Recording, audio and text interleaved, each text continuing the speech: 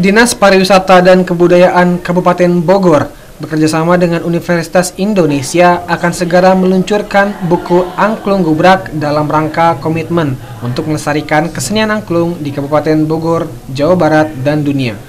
Sebetulnya kita sudah berbuat yang pertama kita bekerja sama dengan Universitas Indonesia kita sedang membuat buku tentang sejarah dan segala macam tentang angklung gubrak yang merupakan cikal bakal dari angklung yang ada di Indonesia. Jadi mudah-mudahan dalam waktu tidak terlalu lama bukunya sudah hadir dan itu akan disosialisasikan. Tadi ibu juga akan mensosialisasikan bahwa ternyata angklung berasal dari Kabupaten Bogor dari Cigudeg.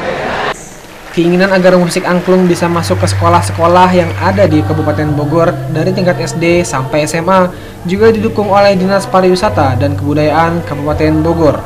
Di SMP, SMA itu setiap sekolah punya alat angklung. Tentunya dari teman-teman pers juga sangat mendukungnya. Tinggal nanti dari saya akan kerjasama dengan distrik agar mereka mengajukan.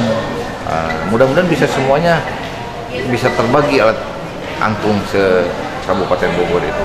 Kalau tidak ya bertahap lah ya sesuai dengan kemampuan anggaran.